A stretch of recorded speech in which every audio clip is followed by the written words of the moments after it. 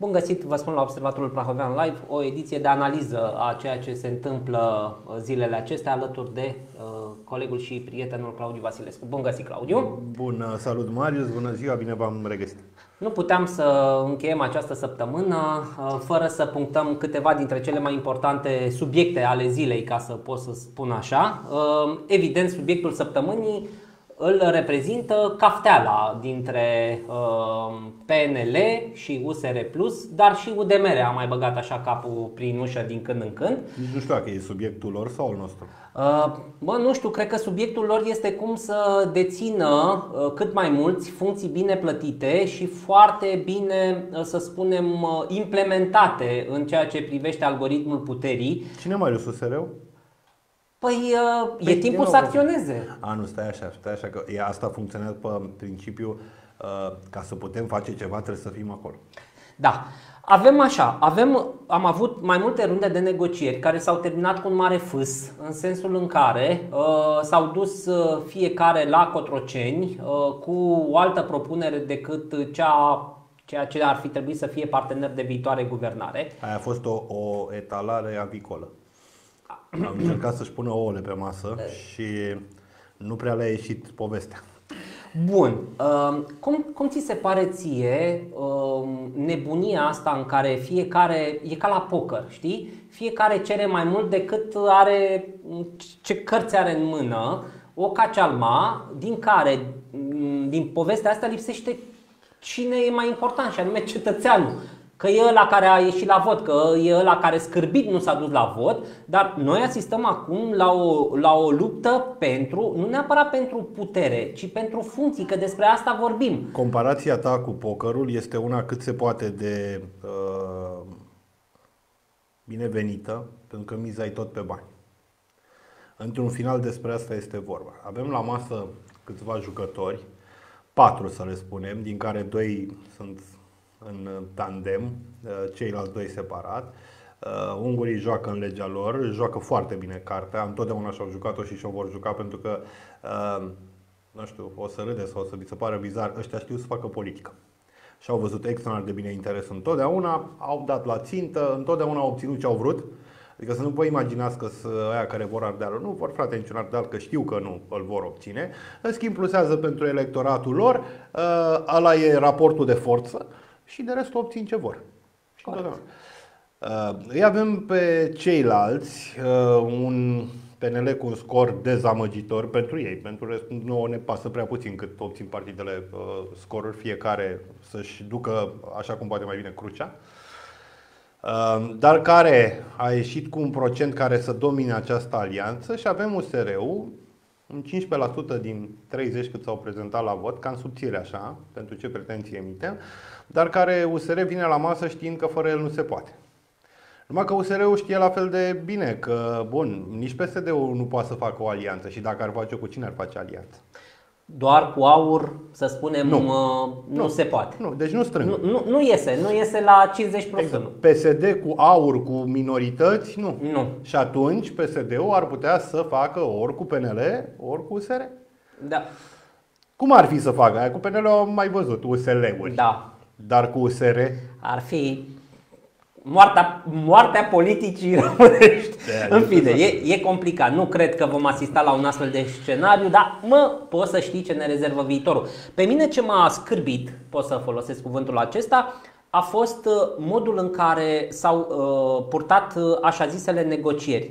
Uh, era vorba pur și simplu de un interes personal al domnului Orban de a, fi, de a rămâne în continuare uh, miezul din Fanta la PNL și anume a venit cu dacă eu nu mai pot fi premier, deși, apropo, m-a pufnit râsul când am, când am văzut că la, la a doua negociere s-a dus la Cotroceni autopropunându-se premier după ce cu două săptămâni ți-ai dat demisia că ai fost foarte slab și în alegeri și ca premier, acum să vii, știți, vreau tot eu. Eu nu mi-aș fi dat demisia.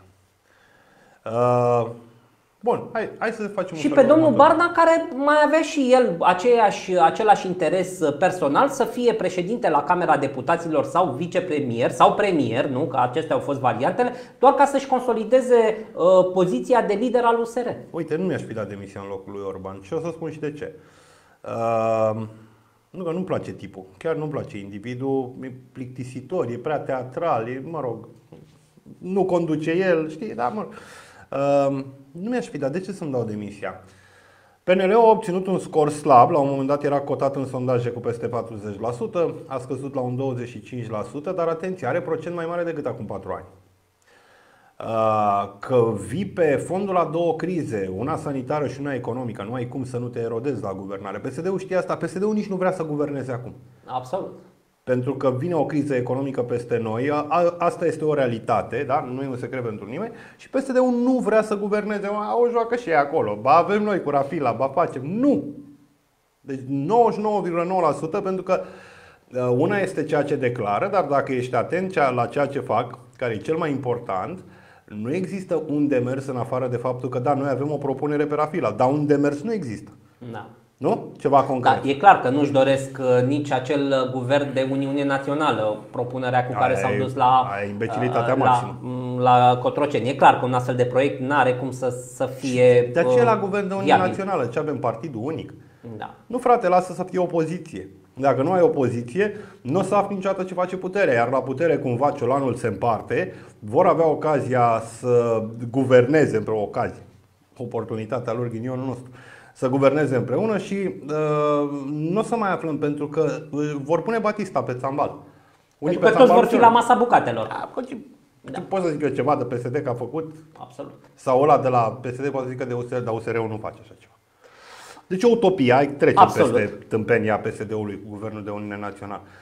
Uite, ce mă îngrijorează cel mai tare este ceea ce urmează din luna ianuarie. Pentru că, strict tehnic vorbind, când ai un guvern interimar, acesta nu poate da ordonanțe de urgență. Asta avem noi în momentul de față. Nedând ordonanțe de urgență, în condiții de criză economică, pentru că cea sanitară să spunem că este acoperită deja de un cadru legal, de starea de alertă și acolo pot jongla, se pot juca, dar se joacă cu soarta oamenilor, cu banii lor. În sistemul Horeca. Ca să luăm deja bă, exemplele cât se poate de clare și cunoscut, dar nu este singurul sistem afectat din, uh, din țară, singura economie, pentru că sunt activitățile conexe care vin aici.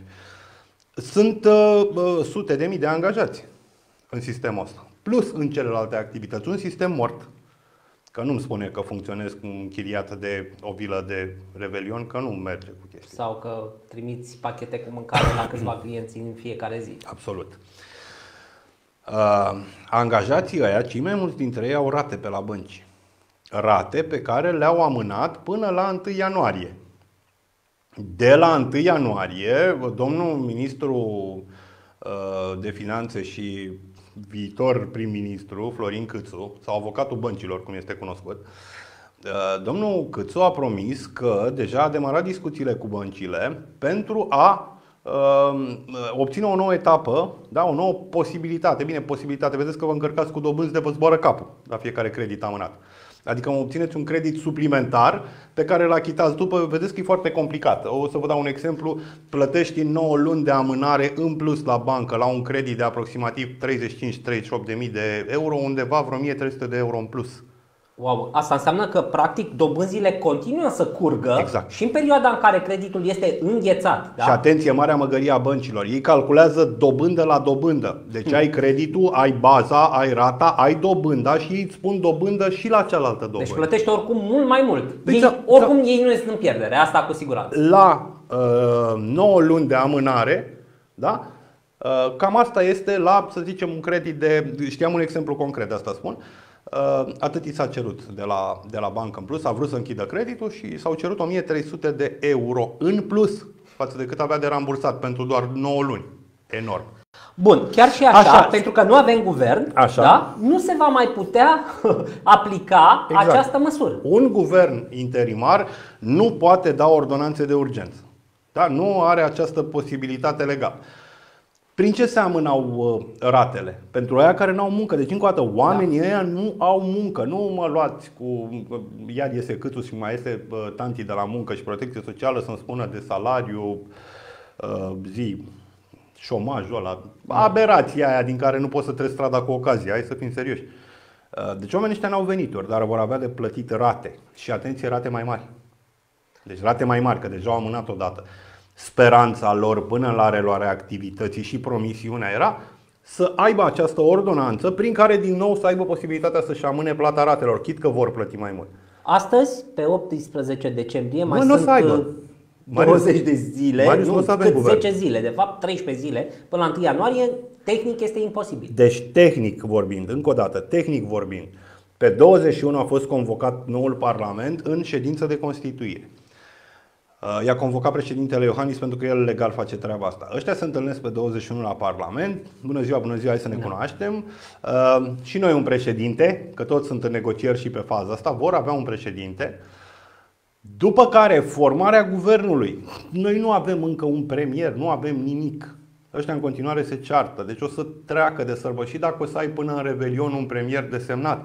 Pe ăla trebuie să vină cu programul de guvernare în Parlament, să-l prezinte, Parlamentul să-l voteze, să audieze miniștrii propuși, știți toată procedura, Da. că doar ați trăit Care durează. Măcar ați învățat-o de la Dragnea, care și-a schimbat trei guverne repede. În timp util, așa ați avut material didactic. Deci durează. Se vor duce undeva prin ianuarie, probabil spre jumătatea lui ianuarie, dacă nu și mai încolo. Asta în cazul în care se înțeleg acum. Cum îți uh, sună, uh, citeam înainte să intrăm în direct, uh, uh, cea mai probabilă variantă de, de guvernare de dreapta, Florin uh, Câțu premier, uh, Dan Barna vicepremier, uh, Ludovic Orban președinte de cameră și uh, cred că un alt USR uh, la Senat sau la, sau uh, uh, la Senat vom avea un uh, membru uh, din conducerea UDMR. Câțu premier. e și tăcerea un răspuns. Da, nu știu, au făcut-o în școala pe afară. La un moment dat chiar discutam cu cineva de la Liberali, de, destul de sus. da. De ce lăsați să comunice, sincer? Nu-l lăsați să mai vorbească, pentru că vă face un deserviciu. Nu spune nimeni că nu e un băiat bine pregătit, un domn respectabil, că, ok, hai că am fost eu răutăcios cu avocatul băncilor. Deși Dar ca premier ești obligat să comunici, Băi, trebuie să, Claudiu. fiu, trebuie să fii un tip să ai carismă, da? Să poți să te... În primul rând, că omul trebuie să-și ia un logoped, pentru că are grave probleme de dicție și Da. în momentul comunicării nu înțelegi ce îți transmite, te enervezi, nu poți să suporți să asculți vorbind un asemenea om. Scăpăm de Ludovic și dăm de Florin. Dar măcar la Ludovic teatral, așa cum era el, de, ziceai că acum în spatele lui se joacă Edip și el are de spus ceva despre ordonanță. Uh, știi, ar trebui totuși un comunicator, dar hai să spunem, băi, e un profesionist, bine, bine, e un profesionist, își face treaba și ori comunica ei. Sper că nu doamna Turcan. Uh, cineva va comunica și va explica. Știi că asta a fost cea mai mare problemă a, a uh, guvernului uh, nostru, pentru că în perioada Ludovic Orban, în ultimul an, în condiții de criză, chiar și când s-au luat măsuri bune, pentru că unele au fost niște măsuri bune, da? N- N-am fost chiar în dezastru în care puteam să ajungem. Nu au fost în stare ăștia să le comunice. Da. Bun, avem uh, și o altă, um, o altă problemă. De la 1 ianuarie punctul uh, de amendă va crește cu aproape 50% pentru că, la fel, din cauza uh, acestui, uh, a- acestei lipse de, de guvern uh, plin, uh, acesta interimar nu poate da ordonanță de guvern așa cum au făcut uh, uh, cele anterioare pentru um, amânarea um, a- aplicării acelei legi care presupune ca uh, punctul amendă să fie 10% din uh, salariul minim uh, pe economie și uh, punctul amendă va sări de la, nu știu cât este acum, 155 la 234 de lei. Uh, Practic, amenziile vor crește în medie cu 50%, iar este un, uh, un efect al acestei lipse da, de, de guvern uh, stabil și legitim. Um, Mă rog, nu o să le plângem noi acum uh, uh, de milă celor de la, um, să spunem, uh, guvernare, dar, mă rog, ca idee uh, despre, despre asta este vorba. Uh, în primul rând, și cu asta o să încheiem, că nu are sens să nu mai enervăm lumea la final de an, să le spunem sărbători fericite. În primul rând, că tot eram la capitolul ăsta poveste cu lipsă ordonanțe, o ultimă schemă făcută de Parlament, care putea fi anulată doar prin ordonanță, a fost uh, pensia specială pentru aleșii locali. Va intra în vigoare din ianuarie. Și cu asta am spus tot. Deci tot îmbălăul lor, tot circulul lor politic duce în ca și la inițiativa Fără Penali, când au lipsit fix inițiatori. Claudiu, îți mulțumesc pentru participarea în emisiune. Cu dumneavoastră ne revedem săptămâna viitoare. Până atunci, toate cele bune. Sănătate!